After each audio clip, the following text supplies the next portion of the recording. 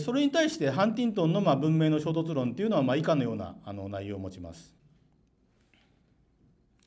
え、ハンティントンは、えー、1993年のエッセイ「文明の衝突、えー、ハテナ」という、え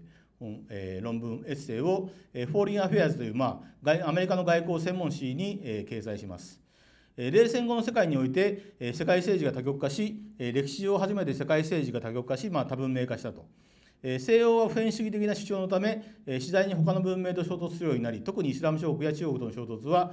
極めて深刻であったと。えー、いうのです先ほど言いましたようにその、えー、歴史のソ連の終焉ソ連とソ連の東の崩壊が1989年ソ連の解体が91年ということですので、え、ちょうどその頃にそのポスト冷戦っていうのはどうなるんだろうかっていうことがまあ割に割に真剣に考えられた時代なんですけれどもその時に89年にまあ、え、福山がまあ、え、歴史の終焉論を出し、え、93年にハンティントンが、え、文明の衝突論を、え、提起したという論争状況があるわけです。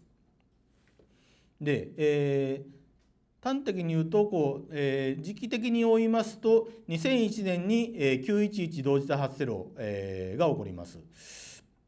まあ、皆さん生まれた頃でしょうか、えー、それから2003年に、えー、アフガン戦、まあ、すぐアフガン戦争が起こりそれからイラク戦争、えー、が起こります。この頃までは、まあ、えー、結局もアメリカを中心とアメリカの、えー、民主主義市場経済っていうことをもう世界に広めることが大事あの決定的であると。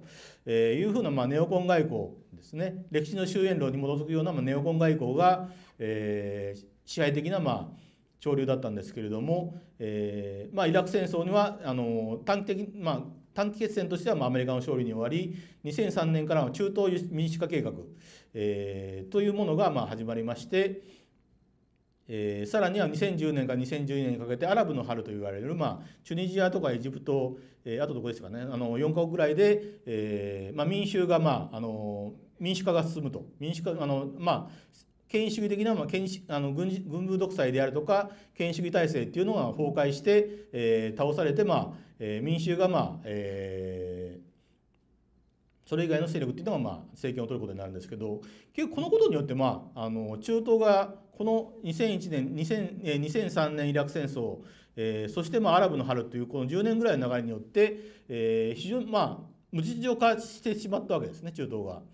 でそしてまあ2014年から、えー、イスラム国、えー、これを ISIL というふうに呼ぶのが正しいというふうに、えーいわゆるエリアスタディの方もいるので、えー、併記しますけれども、えー、登場し、えー、中東アラブ世界がまあ混沌状態に陥ると。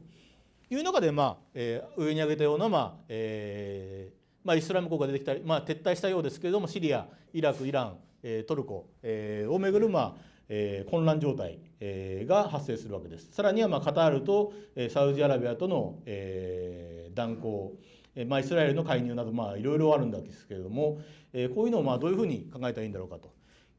いうことですと、えー、まあ先ほども言いますと、えー、文明のあの歴史の終焉か、えー、文明の衝突かでいうと、まあ、文明の衝突の方が、まああの説得力があるんじゃないかっていう現状ではないかというふうに思います。なとこですね。